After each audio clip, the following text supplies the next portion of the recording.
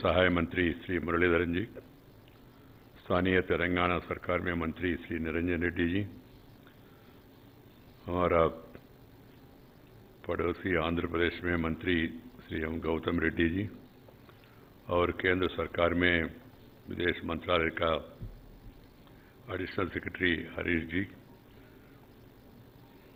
member of Indian School of Business Executive Board, Srin Raju ji, Dean, Indian School of Business, Acharya Rajendra Srivastava ji Shri D N V Kumar Guru ji और यहाँ इस आयोजन में भाग लेने के लिए आए हुए professor Raju Gowda honourable member of parliament Shri Jayadev Galla honourable member of parliament honourable consul general delegates who are all participating in this conference, brothers and sisters.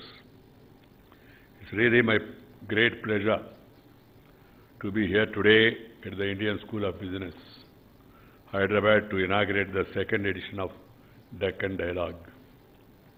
I wish to congratulate both the External Affairs Ministry as well as ISB for bringing together such a diverse and distinguished gathering on a common platform to deliberate on the important and topical challenges confronting all nations in the economic sphere.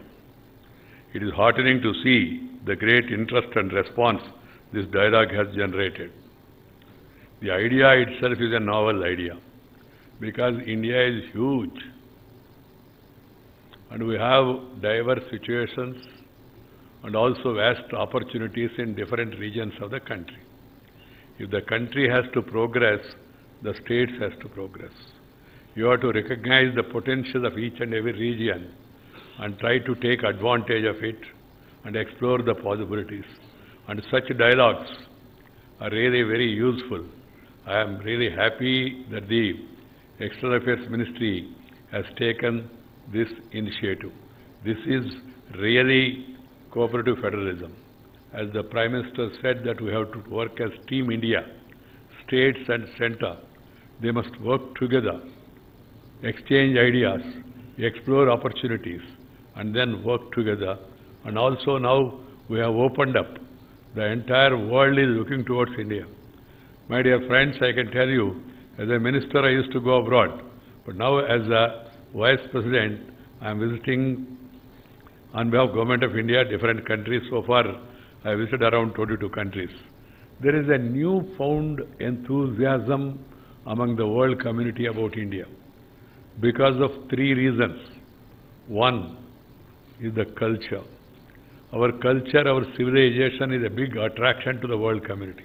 They respect it because one of the oldest civilization, thriving civilization. The second one is peace, the non-violence approach of Mahatma Gandhi.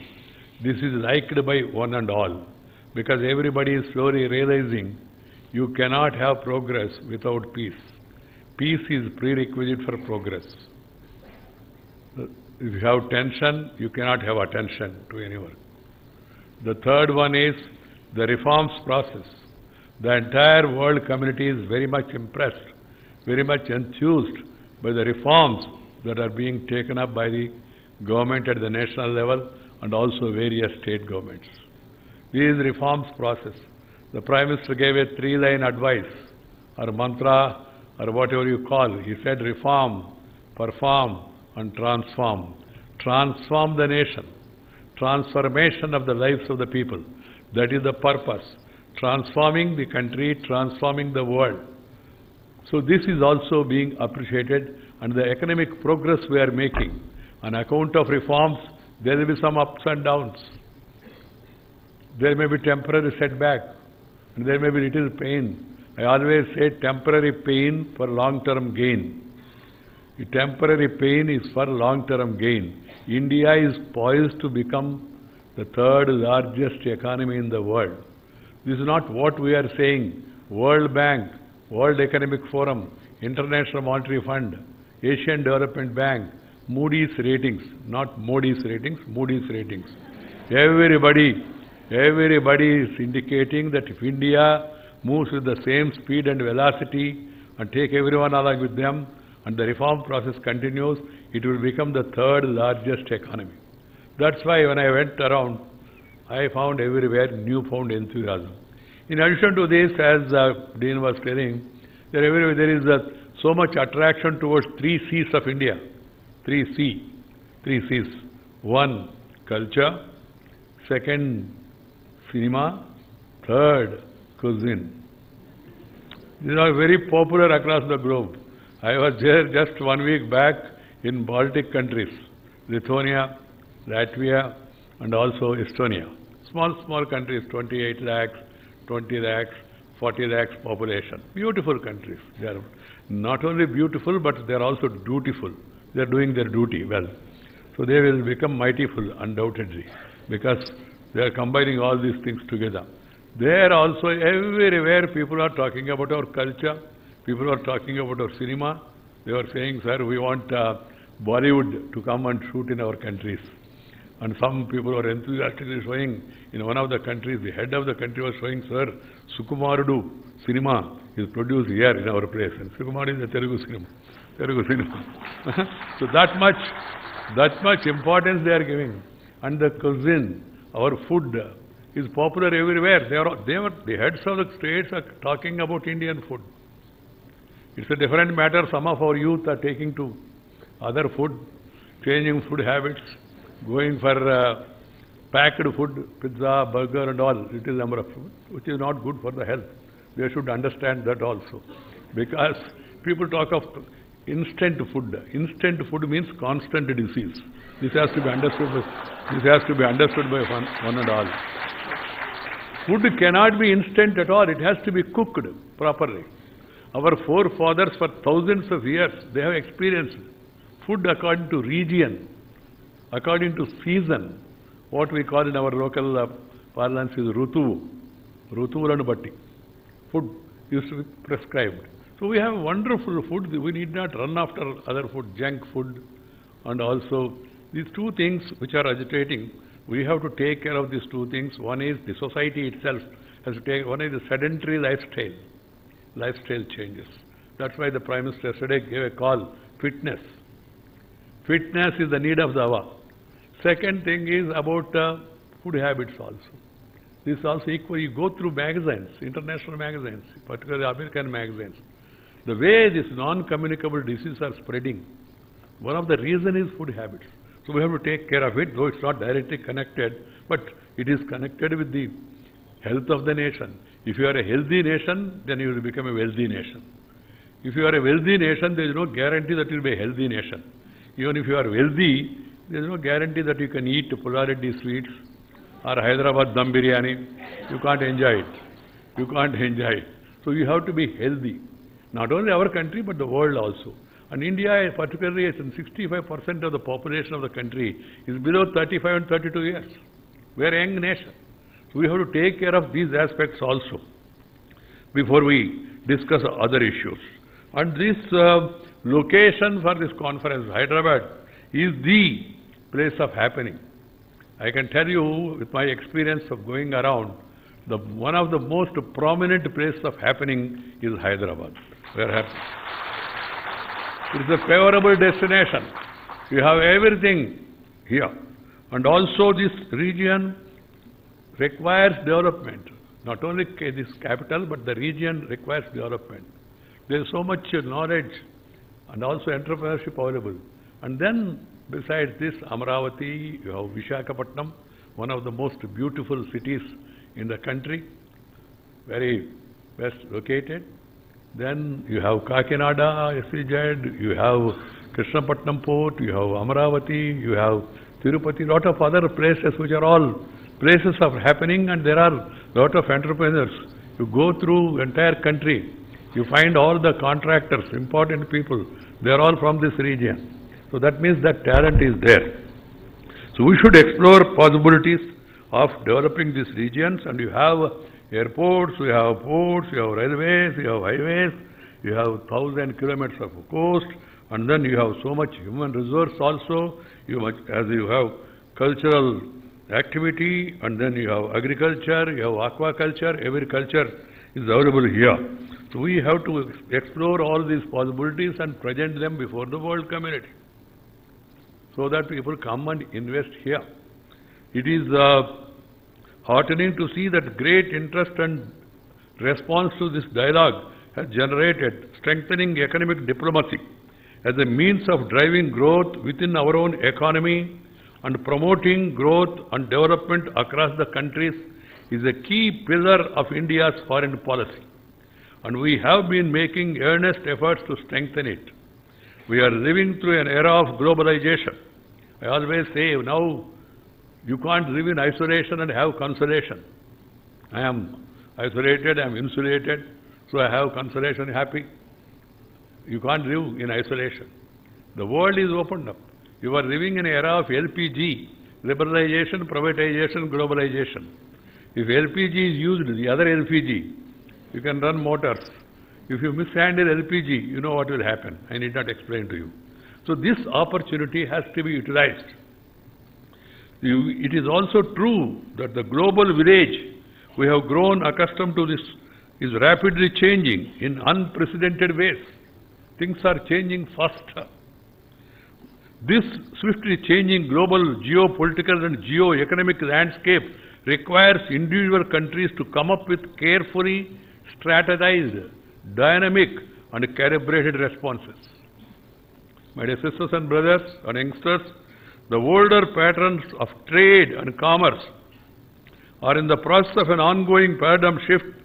The rules-based, anti-discriminatory and the all-inclusive multilateral trading system centered around the United Nations, the WTO and the international law is facing an uncertain future. Not a welcoming trend, but it's the reality. This situation benefits no country, but it is the developing countries which are feeling left out from the process of economic cooperation and have to suffer the maximum consequences from the fallout. In the face of ongoing transformations, it becomes all the more important that we support the efforts towards making global governance more representative by ensuring greater participation of emerging markets and developing countries in global decision making. Irrespective of its failings and drawbacks, we must acknowledge that the process of globalization opened up a world of possibilities. For a young, dynamic and developing country like India, globalization puts the markets of the world within a reaching distance and combined with the process of economic liberalization. Undertaken by India, the job market that young Indians face today is fundamentally different from what it used to be a, a couple of decades ago. This became possible because we embraced the process of globalization and we have striven to make it work for us. Wherever I go, I used to tell the youngsters, why you? Five things I used to mention. One is remember mother forever. Second, remember your native place. Even if you want to go abroad after studies, go, learn, earn and return to serve your motherland. And the third is mother tongue. Practice, promote, propagate mother tongue so that you will be able to articulate your views in a better manner. Then motherland, the country which has given you the beautiful birth, you should always strive, work hard for the unity, integrity, safety and security of your motherland. And fifth, the Guru, who has given you Gyan Denevare Guru, who has given you this knowledge, you should always remember the Guru. Even after Google, now you ask anything that kids, na, they just try to go through Google. Even to operate Google properly, even if there is something wrong, goes with the net, you need Guru. So Guru, Google can never replace Guru. Guru is paramount always. You have to remember all these five things. And, uh, and, and you go. Now I am saying I am just moderating what I am saying. You go, no problem. We have enough population. People can go abroad. Provide a human resource for the entire world. You have knowledge. You gain experience. You upgrade your skills. You go. I have been going around, as I told you. I see a lot of Indians everywhere, even small countries, Costa Rica. Even this uh, Estonia, recently I have been there. There are around 2,000 people, Indians. And Estonia is the first country which is, which is totally digital. Small country of 12 lakh population, 100% digital. Everything online. There is no need to stand in line. Go and meet people, greet people, shake hand, do something in between hand. There is no such necessity at all. So such a change is happening even in small countries. It's an and then I find a lot of our boys and girls there. And we are spreading our knowledge across the globe. It's a good thing. There is no problem on that account. This globalization has provided one advantage to us. India is the world's sixth largest economy, contributing over 15% of the global economic growth and is poised to contribute to the global economic strength for the next many decades.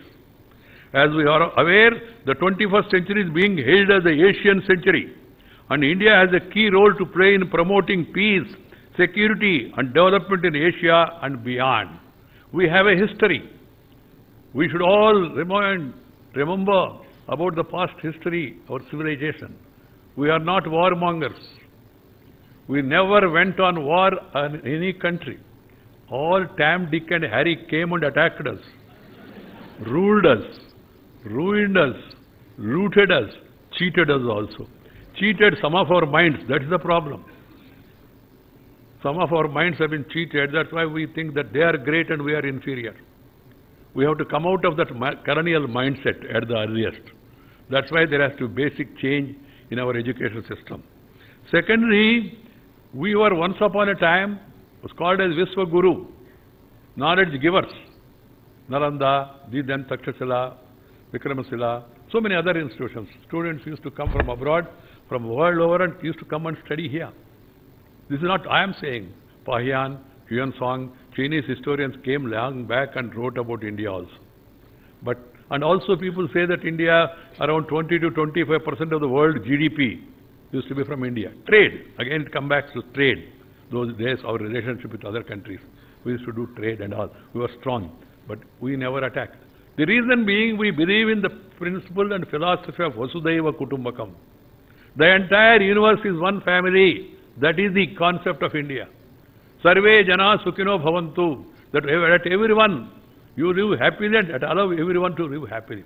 This is our, that's why we never, never, never attacked any country. In future also, we are not going to attack any country. But at the same time, if anybody interferes in our internal affairs, we will give them a fitting reply which they will not be able to forget in the rest of their life, of their history. This has to be, this has to be understood by one and all, including the neighbor who is aiding, aiding, abetting, funding, training terrorism, which is bad, which is bad, which is bad for them and bad for the world community. We want to have friendly relations. Remember what Sri Atal Bihari Vajpayee, former Prime Minister said. He said, you can change friends, you can't change a neighbor. We know about that reality. But at the same time, the neighbor also has to behave properly. We don't want to interfere in the internal affairs of any country. And we don't want any country to interfere in our internal affairs. That's our policy, broad policy. We want peaceful coexistence. We believe in share and care. Share and care is the core of Indian philosophy. Sharing and caring is the core of Indian philosophy. We should spread this. And we should give our knowledge to others also. The other day I was in Vietnam. Harishji was their ambassador. Our people, our Swaminathanji, Swaminathan, he went there and then gave them the knowledge about growing paddy. It's a different matter. Now their production of Vietnam is more than our production after landing from India. Coffee also, same thing. And many more like that. So we always believe in giving knowledge to others. We also believe in taking knowledge also. We are open-minded that way. So we have to continue with that. India supports a rule-based multilateral order to tackle many common challenges such as climate change, technology divide, trade disputes, terrorism, connectivity, and maritime threats. Terror is the enemy of humanity. It has no religion. It has no region. It has to be curbed mercilessly. Because as I told you, peace is a prerequisite for progress. If you have tension, you cannot pay attention. So terror is the enemy. It is not confined to one place. Some people unnecessarily try to bring in religion. No religion supports terror. No religion supports terror. Some people are unnecessarily, intentionally, purposefully are bringing religion in between. This has to be understood by one and all. When we are faced with the issues of unilateral and protectionism. We need to be conscious of the fact that it was India and other developing countries which had earlier made a clarion call to reform the multilateral system as it exists so that the developing countries have a greater voice in the global governance. Consequently, it is not our case to go back to the status quo on multilateralism. We are also asking for our claim to be member of the United Nations Security Council. See what is happening. We are all talking of democracy. India accounts to one-sixth of the world population. And you are not there in the world body. One-sixth of population, world population, India. And India is not a member of the United Nations Security Council. That's why we have been saying you need to democratize United Nations Security Council. Democratize United Nations Security Council. And also conclude the discussion convention on terrorism. What, what is terrorism? This definition is being discussed there for years together. They should come to early conclusion. We, what we need is reformed multilateralism to face the headwinds of protectionist tendencies. We need to bring about the much needed reforms in international political, financial and business institutions so that they are more representative of the ground realities and adapt to respond to new challenges. Enhanced regional connectivity, both physical and digital, can boost trade and play a pivotal role in bringing prosperity and development.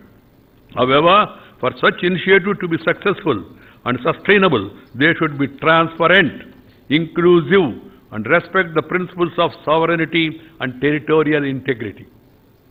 This is an underlying principle. India on its part is placing special focus on improving connectivity infrastructure with the neighboring countries both at the bilateral level and through regional forums like BIMSTEC and Indian Ocean region for expanding intra-regional trade.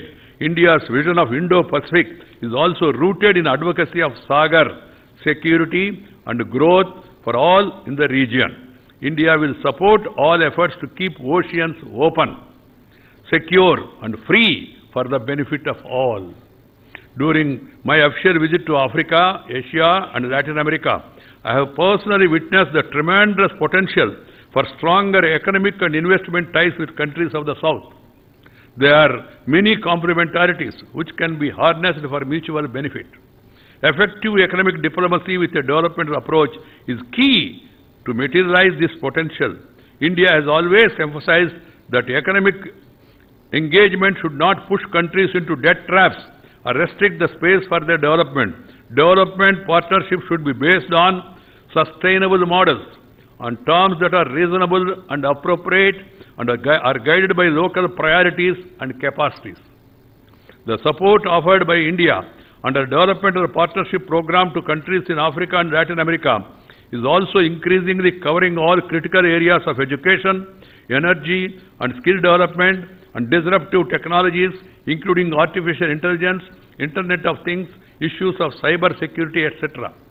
Thus, we have brought an IT-enabled services program, telemedicine and tele-education and Pan-Africa e-network project. These are the areas which have been overlooked by traditional development partners of Africa, but now focused on working on improving these very critical dimensions of our developed partnership. My dear sisters and brothers and youngsters, technology played a key role in shaping the current economic trade system. The rapid global economic integration witnessed in the last two, three decades was essentially fueled by IT revolution. New digital technologies like artificial intelligence and Internet of Things can provide much needed stimulus for reviving global economic activity. At the same time, we must be aware that they may exacerbate the technology digital divide and lead to compartmentalization of global trade due to legitimate concerns related to security and control over these technologies also. Technology is moving forward. We must also be ready to have it. I remember as a student, those days, because of the one ideology or the conviction at that time, policy, we used to, when computers were introduced in banks, we opposed it and opposed and started taking positions. And the slogan I remember, automation, anti-nation. automation is anti-nation. Can you think about it? Automation is anti-nation. The, the way change is coming. The transformation is taking place. You must be ready. You must update your knowledge. You must learn from others' experience. And you must share your experience with others. That is the need of the hour. That's how the world should prosper together. By mutually exchanging ideas, cooperating with each other without exploitation.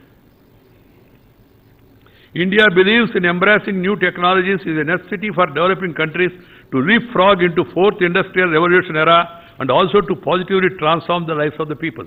Ultimately, what is transformation? What is science? What is technology? To my understanding, the purpose of all this is to make the people's life more comfortable, more happy. Not only prosperous, happy also. Mere prosperity will not bring happiness. There is a new concept now people are realizing, the need for happiness. You may have so many things, car, this, that and all, still you may be lacking happiness. So this a particular area also has to be focused attention. And what are the irritants? In the way of happiness, they have to be removed. And I was there in Costa Rica, a small country. In Costa Rica, there is no, there is no military. A peaceful country. And the Costa Rican president has issued a presidential declaration, decree about yoga. Yoga, knowing yoga, practicing yoga.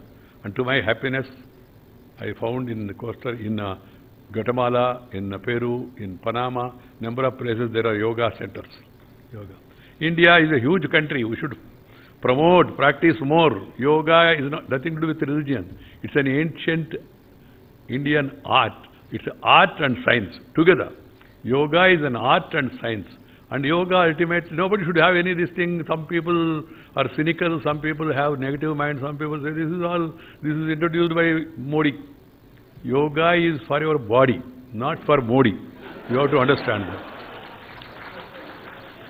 Modi is the Prime Minister.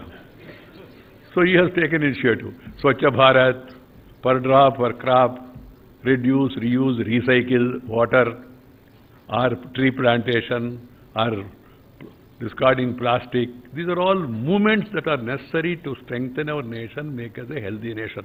Fitness yesterday, he, the other advice he has given. We, we, we as a society must make them as people's movement.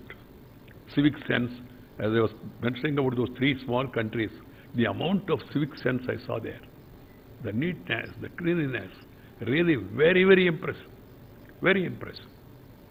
So we as a country, developing country, growing faster, we need to focus on these basic aspects also. That's why the Prime Minister or the Chief Minister from time to time, they also stress on this. Because over the years, what has become one weakness in our system is that in India, we started thinking that everything will be done by government. To some extent, politicians are responsible for that. Of course, I was also in politics till the other day. Now I am retired from politics, but not tired from public life. That's why I am here before you.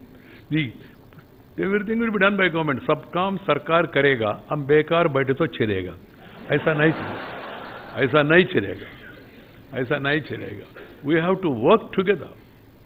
This is a collective responsibility of each and every one of us that has to be understood.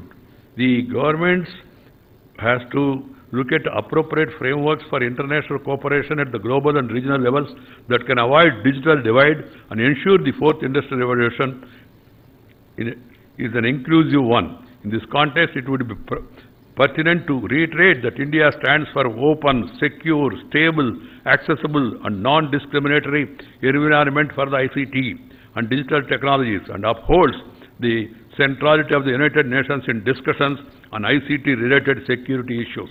We are very clear on that. India welcomes the establishment of a UN open-ended working group on this matter, as well as the launch of a new edition of the group of governmental experts GGE.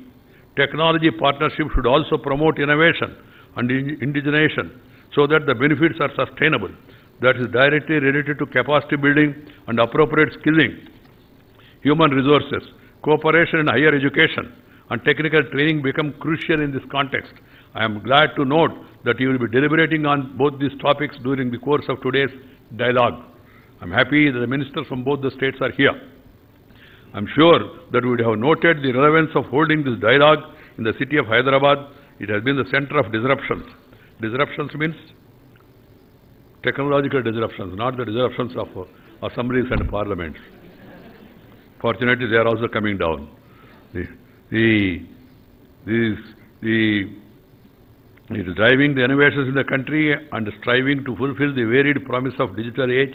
T-Hub, one of its kind, the largest incubator for startups, is headquartered in the city and has been pivotal in providing our companies with innovation-driven ecosystems. Hyderabad is one of the first cities in India to witness the growth of the IT, IT-enabled service sector and contributes more than 11% of the country's IT exports.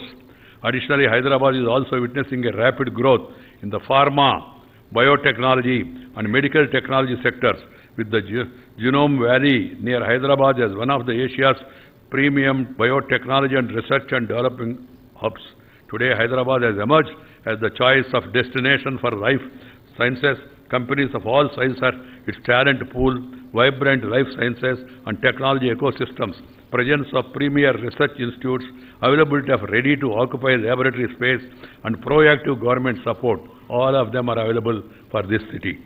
And as I told you about the other region also, you have 1,000 kilometers of coast in Andhra Pradesh. You have 1,000 plus national highway.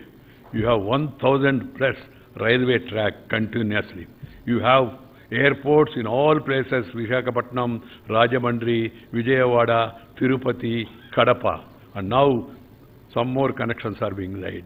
And you have entrepreneur people who will be seen, identified everywhere in India. If they are doing something means they must be from these regions, one of these two regions. Both the regions were together till the other day. So that is the advantage. To conclude, I would like to say that despite the challenging times, I remain optimistic that we can collectively overcome the new and emerging barriers to global trade and economic engagement and work out innovative and sustainable solutions that are acceptable to all. I hope your deliberations today will contribute to this exercise. We are here to exchange ideas, to know best practices, learn from each other's experience. That is the purpose of this dialogue. Know what are the opportunities that are available and take advantage of the same. I wish you all success to this dialogue. Also, I wish that you get an opportunity to explore, explore the Deccan part of the Deccan dialogue after the dialogue itself and explore many treats that the city of Hyderabad has to offer. You can enjoy Hyderabad, first enjoy the dialogue, then enjoy Hyderabad. Thank you very much. Namaskar. Jai Hind.